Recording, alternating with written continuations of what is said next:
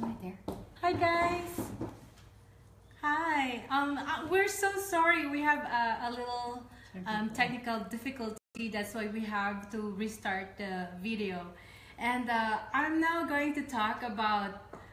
I just want to make this a joke. There's a lot of question. I feel like women are really special. I feel like we're we're just in a good way complicated. I was reminded that you know um, it takes um, 75 years to understand one human being by reading the genetic code. We have four genetic code for per uh, DNA. So if you you read that code one code per second, study shows that it, it will take 75 years to understand one human being. And I always joke that if it's a female creation, multiply 75 by 2 and you will understand women after 200 years. So that's how uh, beautifully, um, uh, how beautiful and intricate we are, created truly by the Lord um, in His image. So now um, I just want to discuss um, if you are approaching menopause, and I'm talking to you if you're about 45 or 46 up to 52. That's the average um, length for a for a woman to experience menopause. That um, you have to foresee problems like um, heart attack. You have increased risk for heart attack, stroke, and osteo um, osteoporosis. Because again, um, the production of estrogen in our ovary and uh, progesterone, they they also affect you know the level of cholesterol in the blood. Cholesterol in itself is not bad. In fact, um, the precursor of our hormones like estrogen, progesterone, the dehydroepiandrosterone is actually coming from, they come from cholesterol. And, uh, you know, the membranes of our brain, the cell membranes of our cellular structure, they are made, make, made up of cholesterol. So cholesterol in itself is not bad. You know, for in order for us to have a nice skin, we need um, um, cholesterol. And in fact, like say avocado is a good source of healthy um, fat or cholesterol. So when we approach menopause, we don't have our decreasing levels of estrogen. And uh, now we have an increased levels of, of bad cholesterol. Remember that cholesterol is fat. You know, they don't dissolve in blood because blood is pretty much the same um, um, quality as, as water. So they float in um, the blood. That's why they have to mix with the protein produced by the liver. Uh, so, so that we have the cholesterol protein complex. So the liver produces two types of protein. One is the good one, the high density um, lipoprotein. That's the good one. We need to have that. If you read your lab works and it says at least 60, then we love it you know, the, the lesser your high density lipoprotein, the more prone you are to developing coronary artery disease or heart attack.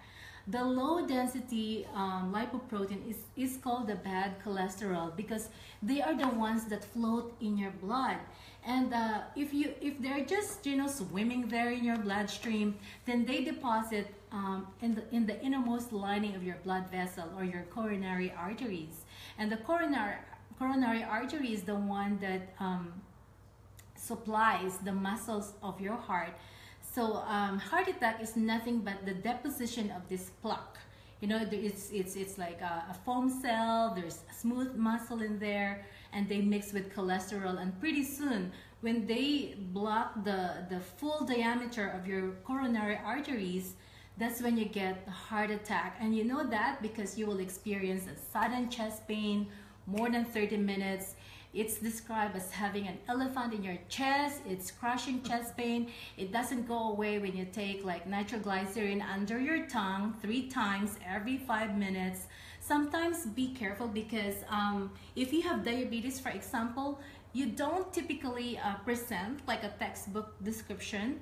Some people would just say uh, they have a little bit of indigestion, like nausea or vomiting or fatigue or just a little tingling sensation in this little pinky of um, their um, fingers. So just be aware of that. Another thing is as you grow older, you are now more prone to hypertension.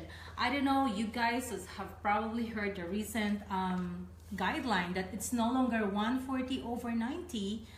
definition of stage 1 high blood pressure but it's already 130 over 80 they lower it down. So if your blood pressure is constantly in the 130 over 80 then you better um, start exercising really make it intentional to eat um, veggie avoid red meat avoid uh, cheese you know um, just maybe chicken breast and uh, fish and uh, a lot of a lot of fiber. Another thing is if you are menopause plus you are high blood pressure plus you have diabetes. Your uh, risk of developing heart attack is two times to three times than the average person experiencing uh, menopause. So again avoid refined sugar. Last night oh my gosh if you're diabetic and you ate a lot of pumpkin pie and all the blueberry cheesecake to, again today is another day to exercise and just you know take care of our health. God meant for us to live in um, abundance and joy and peace but it is not a passive relationship the lord always wants us to partner with knowledge partner with wisdom I was reminded in Proverbs, there's a passage there that says that, you know, if you are simple, if you don't have knowledge, you don't, you just keep going your path without uh, foreseeing danger. But if you are wise, and uh, that's what we're doing with you right now, we were, we are equipping you with knowledge, then you can prepare. Like if you are 30 years old right now, everything's okay, you're active, no hot flushes, no osteoporosis, then you can just start eating and uh, exercising, eating good so that when you hit menopause, all your blood works are, are good. You don't have the bad cholesterol. Another thing that we should look for in our blood work is the triglyceride level. Triglyceride.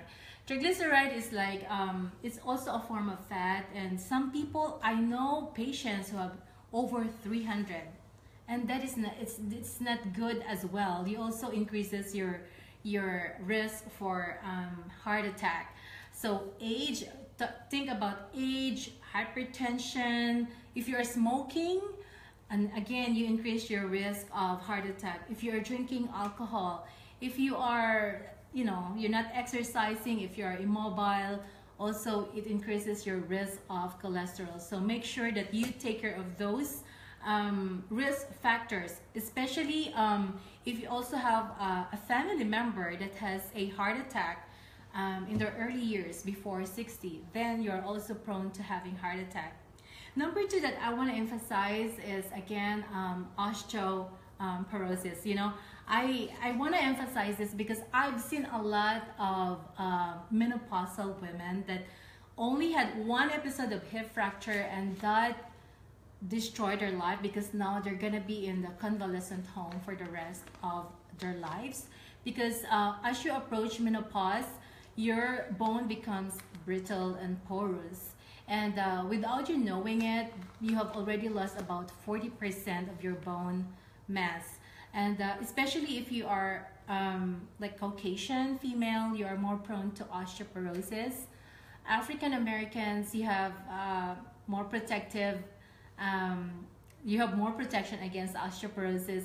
Us Asians, we are also prone to osteoporosis, especially if you are short and thin. I'm only a little bit taller because of my high heels.